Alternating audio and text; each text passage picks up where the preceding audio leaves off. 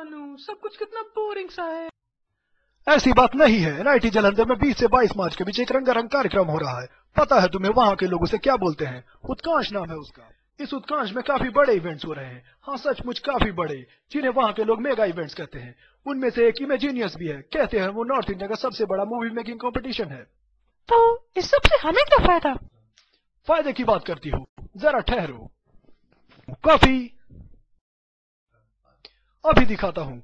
Hello young lady क्या तुम भी इमेजीनियस के लिए मूवी बना रही हो?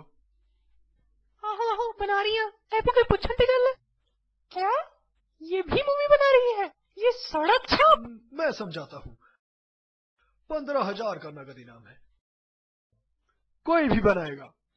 हम्म हाँ बस दस मिनट की मूवी ही तो बनानी है। मेरी मानो पैसों की बरसात होगी वहाँ पर।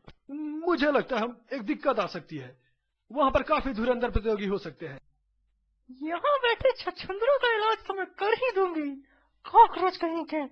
अब तो मुझसे रहा नहीं जा रहा। सचमुच मेरे तो रोंगटे खड़े हो गए। खबरदार भाड़े के टट्टुओ किसी ने भी मूवी बनाने की ज़रूरत की तो।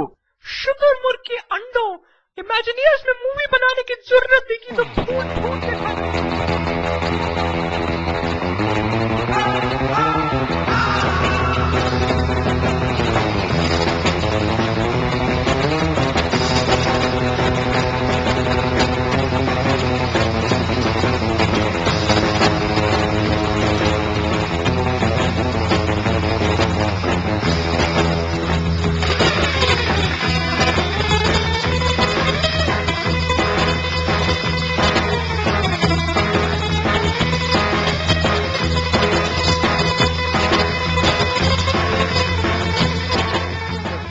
ਸੋਚਿਆ ਸੀ ਵੱਡਾ ਹੋ ਕੇ ਕਿਸੇ ਐਡ 'ਚ ਕੰਮ ਕਰਾਂਗਾ ਇਹ ਕਿੱਥੇ ਪੁੱਜ ਗਿਆ ਯਾਰ ਟੈਕਸੀ ਡਰਾਈਵਰ ਇੱਕ ਵਕਤ ਦੀ ਰੋਟੀ ਵੀ ਨਾ ਨਸੀਬ ਹੁੰਦੀ अबे दूर बुड़बक तोहरा का लागत है अब वो कुछ भी पता नहीं एड बनाना चाहते तू ਸੁਪਨਾ ਤਾਂ ਮੇਰਾ ਇਹੋ ਹੀ ਹੈ ਪਰ ਇਹ ਕਿੱਦਾਂ ਪੋਸੀਬਲ ਹੋ ਸਕਦਾ ਹੈ ਯਾਰ ई का सोल्यूशन है मूवी क्लब का एड मेकिंग कंपटीशन